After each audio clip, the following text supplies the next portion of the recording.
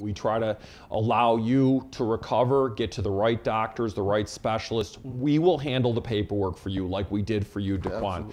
We, there are strict time limitations applicable to bringing an injury case. If you don't get your paperwork filed, your medical bills won't be paid and you won't be able to make a claim for your pain and suffering. This is what we do. This is what we focus on. This is all we do in my office Our serious personal injury cases and, and frankly, we take pride in handling cases such as yours.